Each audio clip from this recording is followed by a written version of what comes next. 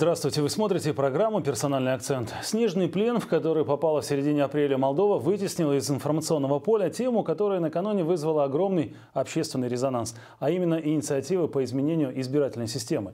И если сугробы снега, накопившиеся на столичных улицах, растают и само собой ликвидируются, как на то, похоже, рассчитывает кишиневский мэр, то с законодательными инициативами подобного не происходит. Напомню, демократы требуют организовать избирательный процесс на основе одномандатных округов. Президент страны выступил с предложением, которое содержит компромисс. Предложил смешанную избирательную систему.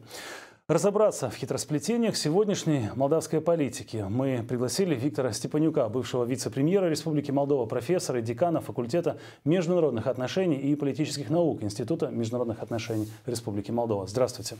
Добрый вечер. Итак, демократы на протяжении уже последних нескольких недель э, активно продвигают свой проект, э, именно переход на одномандатную избирательную систему. И президент Республики Молдова Игорь Дадон сразу заявил, что не согласен с, э, с таким предложением. Он категорически против этих нововведений, предложил, выступил своим вариантом создания смешанной системы организации в этой смешанной избирательной системе. Э, на этой неделе, ну, выступив с, этим, с этой альтернативой, с этим переходом на смешанную избирательную систему, Э, ну, сразу э, вызвал такой шквал, э, будем говорить, и критики, и в то же время, вы знаете, как-то не так много критиковали все систему, предлагаемую демократами почему-то. Как-то не так активно это муссировалось в социальных сетях. Но мой вопрос вам, как эксперту, он содержит ну, примерно вот такое направление. Как вам эти предложения? Какое из них наиболее конструктивно для политической системы? Республики Молдова. Э, а не кажется ли вам, например, что в, в том или ином предложении есть некое разрушение сложившихся политических сил в Республике Молдова? Ну, во-первых, надо э, сказать очень ясно, что большая часть политических сил, э, имеется в виду политических партий Молдовы, они так или иначе выступают за нынешнюю систему, за пропорциональность. За сохранение. За сохранение нынешней системы. Э, конечно, она не дала, можно сказать, последние годы э, ожидаемых результатов, потому что в конце концов э, и через избирательную систему, и через выборы народ каждый раз надеется, что власти приведут страну к процветанию, к развитию и так далее. К сожалению, последние годы доказали очень ясно, что партии на ходу могут получить и хороший результат, а потом они теряются в парламенте, потом они разрушаются или саморазрушаются и так далее. Мы вообще говорим последние годы, и политологи долго, много говорят о захваченном государстве, то есть о государстве олигархическом. И надо сказать, что даже выборы президента прошлого года, они были проведены вот под этим лозунгом. Изберем нашего президента и уже, как говорится, поставим крест на этом олигархическом режиме. Правда, надо вспомнить, что многие политологи э, и политики даже сомневались в этом, потому что у нас все-таки парламентская республика. А, и полномочий президента очень и очень мало. Да, тем более накануне президентских выборов парламент достаточно мощно как бы секвестировал, Ограни... возможно, да. ограничил возможности Ограничил полномочия президента, поэтому президент э, у нас, э, у него очень мало полномочий. Э, конечно, народ пошел на выборы, избрал значит, и Игоря Дадона, то есть председателя партии социалистов тогда, на тот момент, президентом республики. То есть народ доверил этому человеку Э, главную должность в стране, хотя мы, я постоянно повторяю, в том числе и студентам, политологам, что у нас э, ситуация вообще неординарная, когда президент, первое лицо государства, в принципе, находится в оппозиции. Это оппозиционный президент. И вот оппозиционный президент в нынешних э, сложных условиях, он пытается работать, как я думаю, все-таки на страну. Хотя последняя его инициатива, я заметил, что критикуется особенно справа, особенно со стороны многих политических партий. И надо сказать, и еще со стороны нынешней власти, потому что посмотрите, что происходит. Нынешняя власть хочет радикально поменять систему. Почему? Потому что, с одной стороны, народ сам хочет изменений. Народ хочет, чтобы депутат был ответственен, чтобы он был узнаваем, чтобы его избрали там на месте, в районе и так далее. То есть есть далее. такой сигнал снизу об том, есть. что система политического, политическая система несколько изжила из себя, видимо. Да, ну народ во всяком случае так думает. Понимаете как? Он хочет изменений, ему кажется, что через эти изменения, через одномандатную систему можно, в принципе, привести, э, привести к другому э, качеству парламента. Да? Я думаю, что в этом смысле большая часть избирателя все-таки ошибается, потому что э, ну, здесь долго говорить, партийная система или пропорциональная система, она э, считается сегодня самая демократическая, самая демократичная, да? она самая качественная. Во всяком случае, мы говорим о европейском пространстве. Поэтому отказаться от пропорциональной системы – это ошибка. Но, к сожалению, и действия партии, демократической партии, да, которая хочет сохранить себя у власти и после 2018 года, потому что, безусловно, что они, э, у них рейтинг почти на нуле. Вообще нынешняя власть, она нелегитимна. Да, она легальна, да, она управляет вроде этой страной, имеет правительство, есть парламентское большинство, но легитимность э, означ... Э, на нуле буквально. То есть авторитета у этой, у, этого, у этой власти нет. Сейчас единственный политик э, во власти, который пользуется определенным авторитетом, да, большой легитимностью и так далее, безусловно, это президент.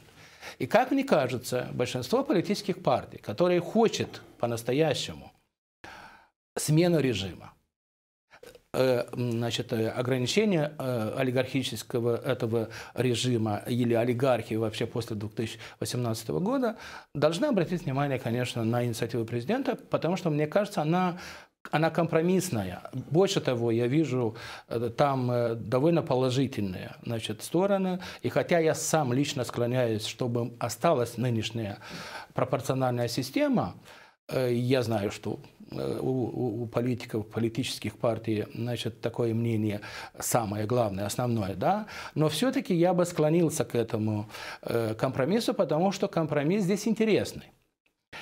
Э, все-таки большая часть следующего парламента по предложению президента будет избрана через партийную систему, через, через партии, то есть 51 э, депутат.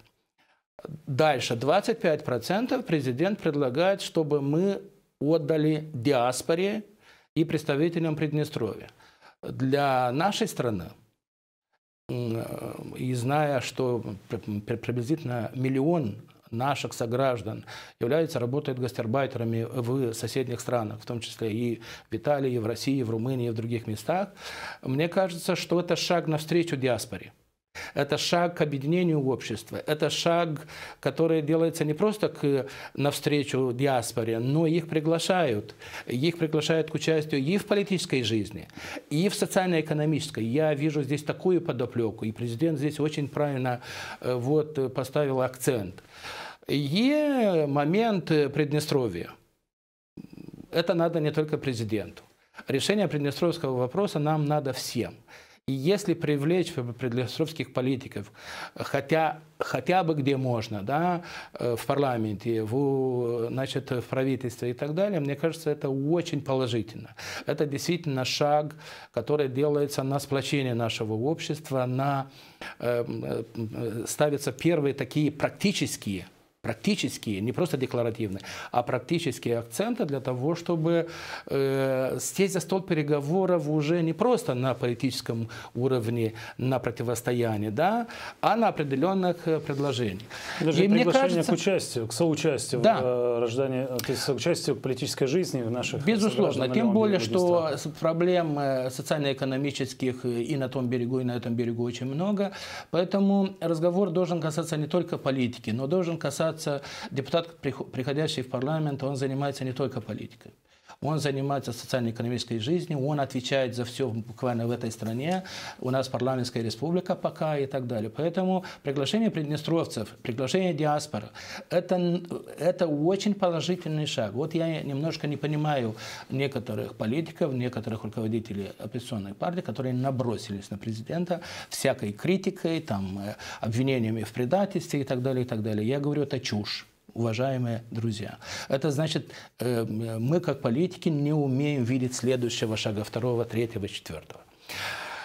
Потом остаются эти только 25%, которые в данном случае президент, который тоже встречается с людьми, он, как и мы, все встречаемся с людьми, да, и мы, политики, и преподаватели, интеллигенция и так далее, с людьми встречаются. Вот на любой э, значит, э, свадьбе, на любой куматрии, попробуйте говорить там с соседями и так далее о политической системе, они скажут, дайте нам этого, все-таки возможность избрать своего кандидата. То есть политические партии, в том числе оппозиционные, они не могут идти против воли народа.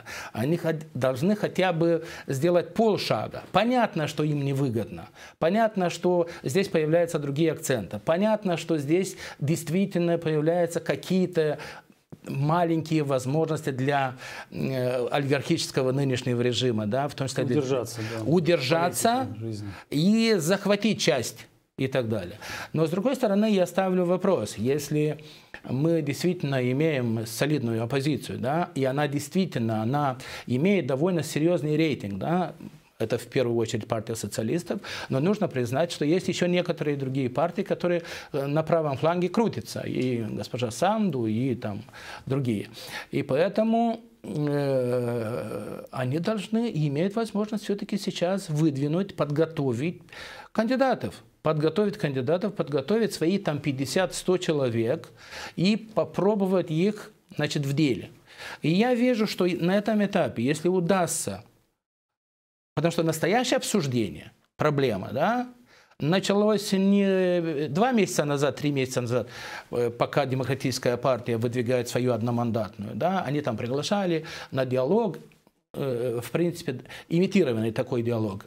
Какую-то общественность, какие-то политические партии и так далее. Но в конце концов настоящий, э, настоящее обсуждение проблемы, смена, да, вот начинается именно после предложения президента. Сейчас Э, надо организовать, наверное, какие-то круглые столы, надо остановить вообще обсуждение в парламенте, наверное, надо с помощью структур, в том числе Совета Европы, Венецианской комиссии и так далее, сесть и еще раз посмотреть. И тогда окажется, как мне кажется, окажется, что все-таки вариант президентский, компромиссный, да, он самый лучший. Это, это факт. Да, мне сама система микстая, то есть смешанная, не очень нравится, потому что я говорю, появляются там какие-то лазейки для нынешнего режима. Но с другой стороны, вот те акценты, которые значит, сейчас поставлены в смысле приближения к простому человеку, потом э, шаг навстречу Приднестровью и шаг навстречу диаспоре. Диаспора же активно участвовала на последних президентских выборах и так далее – ну и плюс сохранение партийной системы. И партийная есть. система сохраняется. Мне кажется, что здесь компонентов положительных больше, чем отрицательных. И это мы, как реальные политики, люди, которые должны все-таки, даже если не нравится, все-таки признавать, что что-то здесь логически все-таки есть. Да? Поэтому это проблема для обсуждения. Это проблема для обсуждения. И тем более, что она имеет э, и много положительного в этом смысле. Потому что э, одномандатная, да, она сегодня демагогическая, она определенная будет имитация, она играет больше на пользу Демпартии, потому что Демпартия сейчас контролирует 70, может, 70% э, районов и примарей республики буквально, да, и они надеются через вот одномандатную систему там получить, если не большинство, то есть, во всяком случае, очень солидный результат. Да? А как умеет работать демократическая партия, мы видим. Они пришли в парламент с 18 там, депутатами, сейчас они имеют 40 и, и так далее. Как они это, этого добились? И как это называется в смысле конституционности, значит, э, такие переходы, да, такие перебеж, перебежки. Они обвиняют э, нынешнюю пропорциональную систему вот в коррупции, в, в, в, в фальсификации, в отсутствии, э, я не знаю, там, основательности. С другой стороны, они сами занимаются разрушением пропорциональной системы. То есть надо признать, что демократическая партия ломает сегодня партийную систему, она пытается ослабить. Президент же все-таки сохраняет Больше того, сохраняет, дает повод для того, чтобы можно было садиться за стол переговоров и с демократами, которые, к сожалению, надо признать, к сожалению, они еще во власти. Они составляют сегодня парламентское большинство. И с другой стороны, сесть за стол переговоров с, с оппозицией. Держать баланс интересов с этими частями общества и одновременно учитывать и обстановку внешнюю, потому что от внешнего фактора, ведь выборы, выборы 2008 ну, нуждаются в признании, и их должны признать и там, и здесь, к сожалению, у нас геополитика тоже играет очень... Мне кажется, что в этом смысле президент э, это рассчитал довольно, довольно хорошо. И я в этом смысле не нахожу э, очень много аргументов для критики. Ну, Больше того, я поддерживаю. Я вижу, здесь есть и логика, есть конкретика, э, есть и аргументация первая, вторая, третья, четвертая и так далее, и довольно основательно. Ну, вы правы, когда говорите о том, что признание выборов внешними партнерами – это очень важный фактор, потому что это тоже элемент такой демократичности, подтверждение того, что да. выборы прошли демократично. Ну вот Игорь Дедон э, отмечает, что предложенный им вариант ну, эм, помимо, является компромиссным. Это говорит э, ряд политологов. Вы в том числе считаете это хорошим компромиссом для сегодняшней политической системы. О необходимости компромисса говорят и те же внешние партнеры, те, кто сегодня наблюдает э, за развитием событий. И тем не менее, э, Демократическая партия, ее руководитель Владимир Плохотнюк вот от своего намерения отказ, отказываться не собирается. То есть здесь нет какого-то сигнала, возможности поиска еще какого-то компромисса. А как вы думаете, какие варианты могут быть в развитии событий? Возможно ли ну, такое э, жесткое противостояние, и чем оно, на ваш взгляд, закончится в, в политическом смысле? Э, я не вижу вот сценарий жесткого противостояния.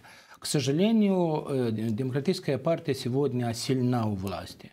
Она усилилась особенно в, в условиях 2016 года во время избирательной кампании президентской. И хотя они в последний момент своего кандидата сняли, потому что не имели никаких абсолютно шансов и так далее. Но, с другой стороны, чисто административно, да, организационно и партия, и парламентское большинство осталось сильным, мощным.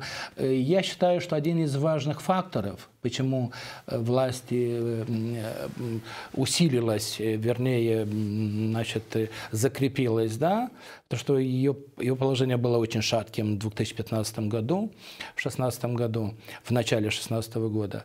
Это это фактор, имеется в виду внешнее э, э, финансирование и внешняя поддержка. поддержка. Безусловно, что они получили геополитическую поддержку и со стороны Соединенных Штатов, и со стороны Европы. И это э, в условиях Республики Молдова имеет значение. И другой фактор, я вижу, значит, ослабление оппозиции. То есть оппозиция не могла очень четко найти решение вот, постановления постановлению э, Конституционного суда 4 марта. То есть они не, неправильно выбрали тактику, как я понимаю. Да? Я сам высказывался очень ясно после, против проведения президентских выборов, потому что они, я считал, что почти ничего не дадут. И, и расколят, расколят страну, и, и расколят оппозицию и так далее. И это, к сожалению, случилось. Вот я замечаю, как политолог, что происходит в стане оппозиции сейчас последний.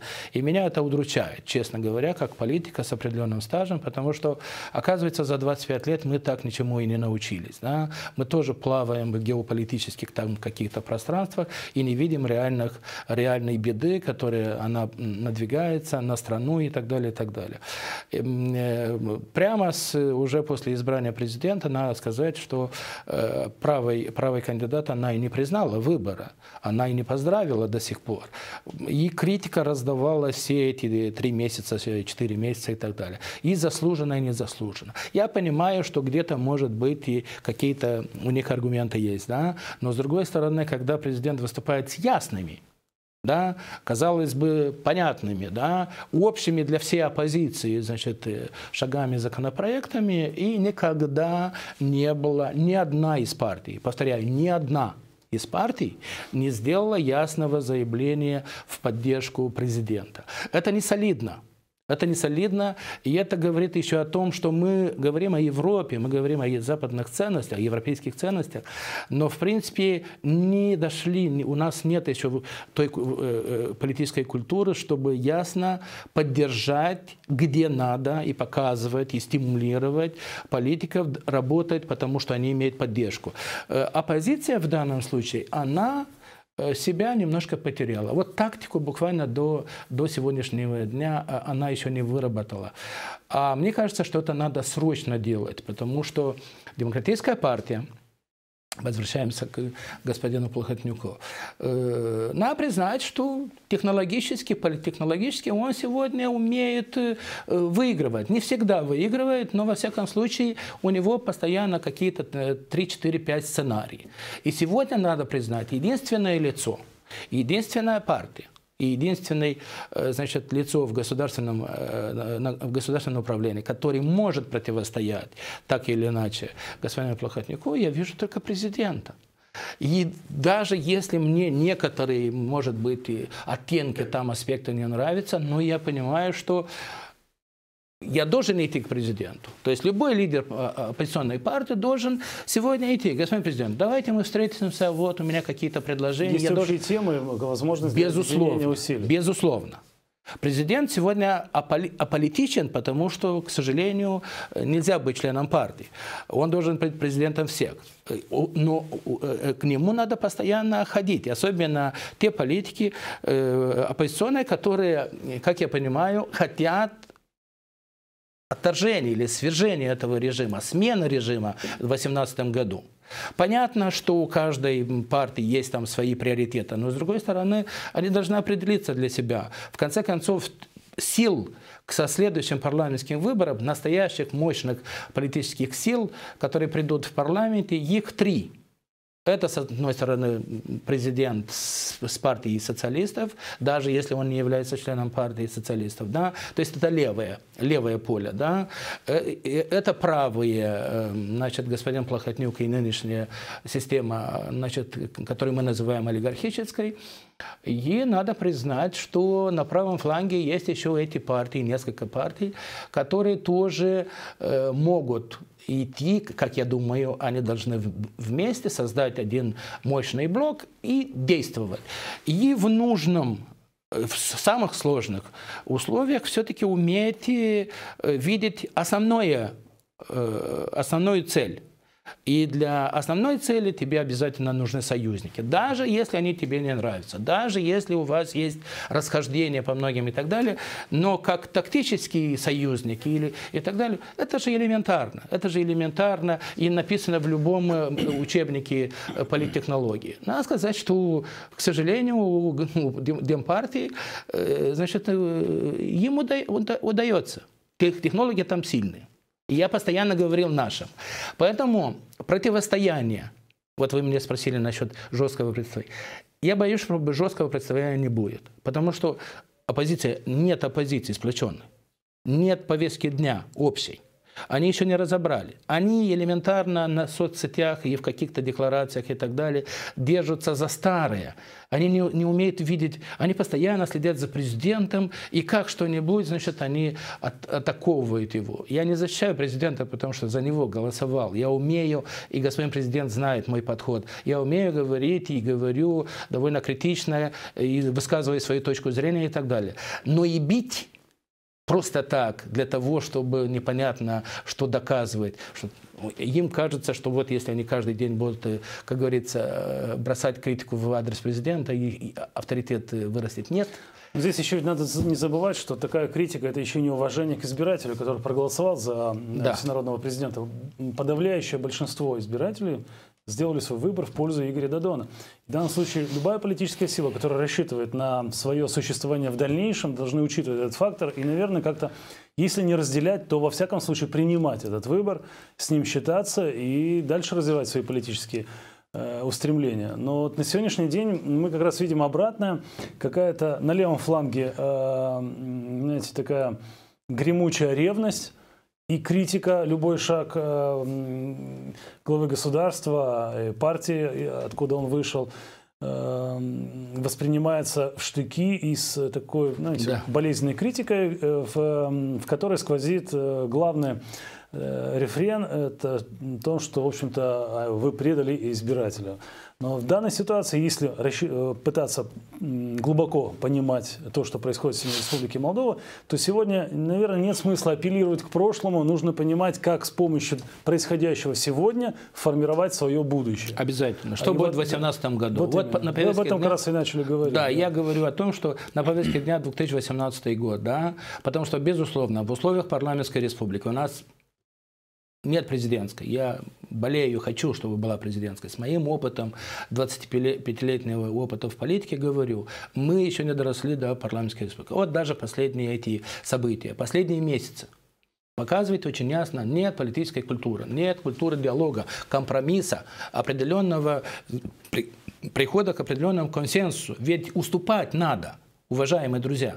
Потому что если мы уступать не умеем, очень ясно беседовать, э, вести диалоги и так далее, не будет э, сплочения в этом обществе и не будет результатов. Поэтому, э, повторяю, цель 2018 год и в этих условиях и так далее, если мы говорим, что это захваченное государство. Здесь крадут миллиарды. Да? Здесь и нет компетентного правительства. Здесь не решается проблема. Здесь все висит, многое висит на волоске и так далее. Вот. Э, что остается? Остается сплотиться хотя бы в тактических э, значит, целях и думать в первую очередь о, о стране. А, и для этого нужны союзники э, есть попытка, есть попытка значит, изменить систему избирательную. Мы об этом говорим сейчас. А избирательная система – это вопрос о власти. И, как мне кажется, как можно остановить сегодня значит, парламент от принятия этого? Да почти невозможно. У них там 55, 56, а может быть даже 60 и так далее. Никакая Европа не повлияет Повторяю, на выборы. Никакая Европа не повлияет. Фактически Европа, и господин э, Андрей Настаса, и Майя Санду, и многие другие, я думаю, что они уже поняли, что Европа, к сожалению, поддерживает этот режим. Да? И поэтому этой всей нашей оппозиции, да, в том числе с президентом во главе, нужно готовиться к 2018 году и прийти в парламент с каким-то разумным, понятным парламентским большинством, и которая даст э, возможность по-другому решать вопросы в этой стране и разобраться, как все-таки были украдены миллиарды и как их вернуть, и как можно вообще восстановить и развивать эту страну. Потому что если нынешняя власть не способна и мы не способны до 2018 года организовать досрочные парламентские выборы, потому что нет консенсуса, не пришли к, к единому мнению. Надо хотя бы договориться о своеобразном компромиссе. Поэтому, возвращаясь к инициативе президента, это компромисс. Садитесь, и некоторые тонкости – там можно обсудить некоторые тонкости, да, но я повторяю, 25, 25, 51 это очень солидно. Для меня, э, опытного, с определенным опытом политикой, вот, который знаю, что и в других странах это бывает. Потом мы вернемся обратно на следующем этапе. Я абсолютно уверен, что Молдова откажется через э, одно-две легислатуры, откажется от этой системы, да? потому что народ Здесь нужен опыт. Да? Народ сейчас верит, что это даст результат. Вот сейчас они выберут 25 своих представителей от районов. Они увидят, что эти люди э, хорошие и плохие, но в условиях раздрая и раскола им они почти ничего не решат. Поэтому на следующем этапе, уже через 4 года, да, уже население какого-то Яловенского или Ханчешского или Аргеевского района поймет, что депутат все-таки слабый, и Кому удается все-таки решать вопросы? Оказывается, все-таки партийным. Потому что там есть лидер, там есть программа. Система. Партия Почему пропорциональная она приоритетна в Европе? Потому что партия все-таки здесь не просто лидер, а партия – это организм, э, она проводит и рекрутацию, то есть от, отбор этих кадров, обучает эти кадры, э, направляет их на определенные должности и проверяет. Есть контроль и со стороны, как говорится, народа, да, снизу. Потому что я, как лидер партии, обещал э, народу, что мои депутаты будут хорошими, сильными, дисциплинированными, организованными. И есть еще партийный контроль. Вот, есть партийная критика. И так или иначе, значит, э, есть определенная организация. Да, в условиях Молдовы много коррупции, политической коррупции, и мы убедились. Это, но надо, надо сказать, что и другие страны проходили через это. Э, то есть пласт, демократия, как говорится, растет все-таки по, по, по, по медленно, слоями. Э, по, по, по, слоями. Это случится. Другое качество у нас будет через определенное время. Я не могу сказать, это будет через 10-15 лет, но, э, к сожалению, мы сейчас болеем вот этой детской болезнью демократии. То есть мы пытаемся искать там другие какие-то формы, чтобы был результат. Имеем право. Демократическая партия использует это лично в своих интересах, чтобы снова заполучить власть. То есть они видят, что пропорциональной, пропорциональной системе они потеряли всякое лицо, и нет никакого авторитета, поэтому сейчас пытаются через одномандатную. Президент здесь против. И он Правильно, что против. Его в этом смысле надо поддержать. Но президент предлагает вариант, который, который смотрит в будущее, не, не в прошлое. Не просто говорит «нет». Да, то я только за партийную систему. Да, а говорит «почему». Э, мы можем идти на определенный компромисс. Тем более, что он имеет дело, повторяю, с одной стороны, он имеет дело с, с улицей и с оппозиционными силами, с другой стороны, стороны он имеет дело все-таки с парламентским большинством, которое поддерживается Европой, поддерживается Америкой. То есть он не может просто сесть за, за стол переговоров, э, с, э, как говорится, с чистым листом. Он должен прийти с проектом. Он пришел с проектом. И мне кажется, что он на правильном пути. Ну вот в продолжение темы возможного противостояния или невозможного хотелось бы спросить, задать следующий вопрос. Как вы оцениваете озвученный Игорем Дадоном мера, его готовность э, призвать партии к бойкоту выборов в случае, если э, предложение демократов э, будет проголосовано и пройдет в парламенте, и будет изменена кардинально избирательная система. Вот вероятные массовые протесты, которые могут возникнуть в этой связи, как вы оцениваете именно такой сценарий?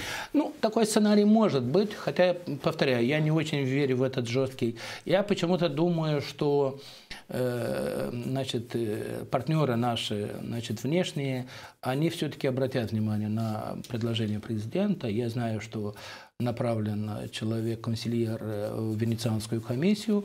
И может быть, что с учетом этого противостояния, которое намечается последние годы, Европа, Европе сейчас не, лишний, как говорят, конфликт в этой зоне не нужен.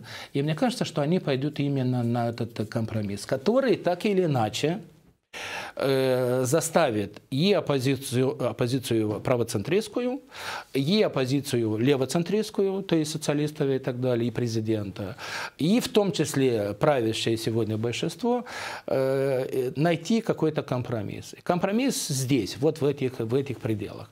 Конечно, э, здесь может быть какие-то еще какие хитрости могут быть. Здесь могут быть хитрости, что нынешнее парламентское большинство в конце концов, на определенном этапе может э, э, изменить до неузнаваемости этот проект президента и так далее. И тогда президент, по, по, э, как говорится, э, может быть, поставит в неловкое положение. Тогда, может быть, это опасно. Поэтому, наверное, с, этим, с учетом этого президент намечает вот и такой сценарий бойкота Э, Выбор. Это может быть, это может быть. Правда, я боюсь, вернее как, высказываю свою, свою точку зрения, что э, оппозиция не способна, к сожалению, на этом этапе. Может быть, что они одумаются через месяц-другой, но это уже будет поздно. Потому что сейчас э, вопрос значит, избирательной системы, я думаю, решится в течение месяцев, двух месяцев до, до лета. До лета они должны решить. Вот успеет оппозиция, значит, э, за это время там договориться тактически, да, согласиться идти на переговоры, потому что им сейчас нужно идти на переговоры, как я понимаю, э, все-таки с президентом все-таки с президентом из партии социалистов. Вот в этих пределах. Э, там им на правом, на правом фланге, то есть идти на переговоры с господином, то есть демократической партией, Э, там почти бессмысленно, безусловно, потому что позиции слишком разнятся, да, там одномандатные, а здесь э, мы пытаемся, то есть оппозиция пытается сохранить и нынешнюю систему. А с президентом можно, с президентом можно, тем более, что он заявил, что он открыт для этого, для обсуждения и так далее, и так далее. Мне кажется, только по этому пути. И вот на следующем этапе, если уже демократическая партия нынешнее парламентское большинство. Ни в какую не, захо, не захотят они э, э, остановить, то есть добиться этого компромисса, э, и все-таки будут продвигать свое, или изменят до неузнаваемости президентский проект – это чревато, это опасно, это видно, они на это способны. Да. Я уже, я вижу, как, я вижу, как они принимают законы, как они ломают, и идут через колено и так далее, и так далее. То есть э, ломают э, через колено и депутатов, и многое там происходит нехорошее.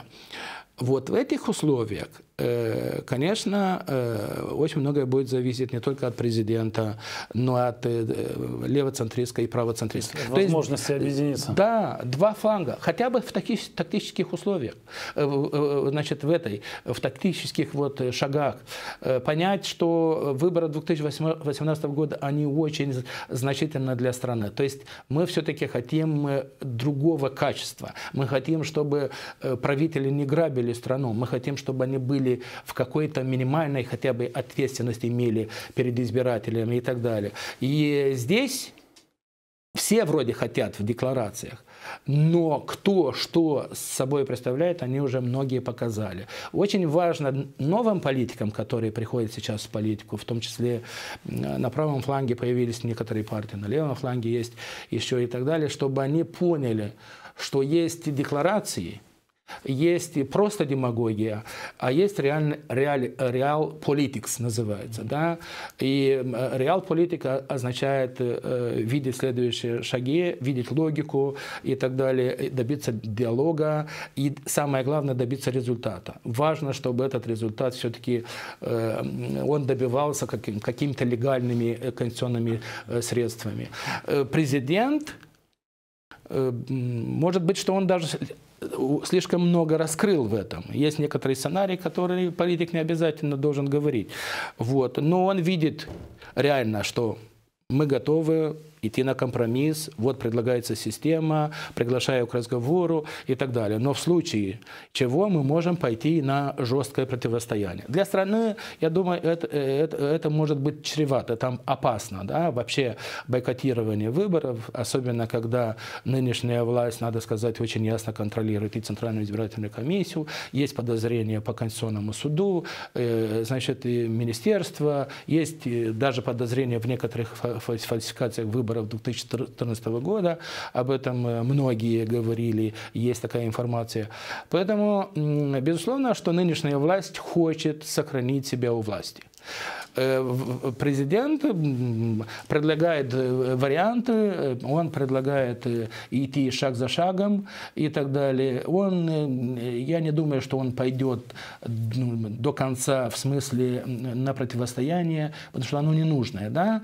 Но то, что он обращает внимание и властям, и оппозиции, что возможно и такой сценарий, мне кажется, что и оппозиция, и нынешняя власть должны все-таки это учесть. Потому что президент это лицо, которое имеет самую сегодня большую легитимность и авторитет в стране. Э, нет другого политика, Посмотрите, это реально, да. это реально. Об этом говорят и, внут, и наши эксперты внутренние, об этом говорят и внешние эксперты и так далее. Это факт. Нравится кому, не нравится, но это, это реальность. Виктор Федорович, вы уже указывали на то, что вне парламентская оппозиция, что слева, что справа, уже по-своему высказалась достаточно критично в отношении предлагаемого президентом законопроекта. А в самом парламенте э, инициативу президента поддержала только партия социалистов. Вот почему остальные партии решили отмолчаться, на ваш взгляд? Я повторяю, от, от низкой политической культуры. Я не стану там никого обвинять. Мне кажется, все-таки э, очень э, ограниченный взгляд у некоторых на это, не умеют видеть следующего шага. Э, к сожалению, многие молдавские политики болеют это. То есть они э, понимают только свои нынешние интересы, вот завтра и так далее. Э, надо видеть все-таки, что случится значит, и послезавтра. И сформировать интерес этого завтрашнего да, дня. Да. Видимо, его нет. Если в парламенте окажется несколько левых партий, например, в 2018 году, и каждая из них получит там, э, не знаю, там, э, и смогут вместе сформировать и э, левоцентристское большинство. Они над этим думают? Они должны думать сегодня. И оставлять какие-то мосты, оставлять э, какие-то возможности для диалога обязательно надо. Конечно, здесь есть разные интриги, есть определенная зависть, да, в том числе политическая. Надо сказать, что у нас политиков, много политиков болеют бонапартизмом, и только он, и никак. В данном случае народ избрал нынешнего президента президентом. Нравится кому не нравится. Да? Поэтому на этом этапе с уважением надо относиться все-таки к выбору народа и видеть следующие шаги. Как мы будем обновлять власть в 2018 году? Конечно, строя парламентское большинство. А если еще придут независимые 25%, а если еще придут приднестровцы и диаспора и так далее. То есть Парламент будет интересный. С другой стороны, с ним надо уже сегодня показывать, что мы уже немножко поумнели за 25 лет, что мы можем, умеем создавать блоки, в том числе блоки коалиции до, до, до выборные, и потом послевыборные и так далее. То есть эту культуру нужно показывать, нужно проявить. Э, я заметил, что э, они не поддержали ясно президента, они на что-то надеются, на другой вариант – было бы идеально как говорится, остаться при том варианте, э, при, я имею в виду э, нынешней системы пропорциональной, но, к сожалению, это, это сегодня уже нереально. Я говорю, это нереально. И президент, может быть, что даже и, и запоздал на неделю-две, потому что эту инициативу надо было, может быть, выдвигать еще 2-3 недели назад. Но сегодня все равно есть место для диалога и для обсуждения. Да, Виктор Федорович, достаточно подробно вы разобрали инициативу президента. Только один один момент еще пока у нас с нами, мы с вами не обсудили. Вот это предложение сократить число депутатов со 101 до 71. Вот как вы его оцениваете? Насколько оно оправдано? Ну, с точки зрения экономики, наверное, понятно, нагрузка, количество зарплат будет уменьшено, но с точки зрения законотворчества? С точки зрения законотворчества, э, значит, э, это сейчас нереально.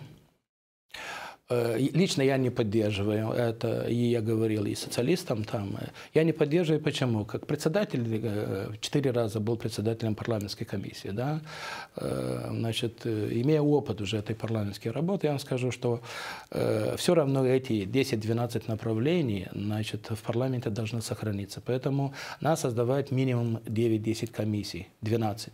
В каждой комиссии желательно иметь хотя бы 10 человек, потому что части находятся, часть части этой комиссии в оппозиции. Они обычно не работают. Они обсуждают, но конкретно законотворчеством не занимаются.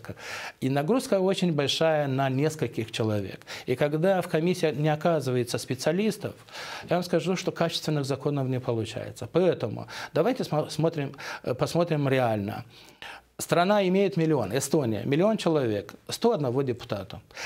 Страны, которые имеют меньше 101, это страны эти маленькие стать или птич, как мы говорим, эти маленькие государства Европы. Да?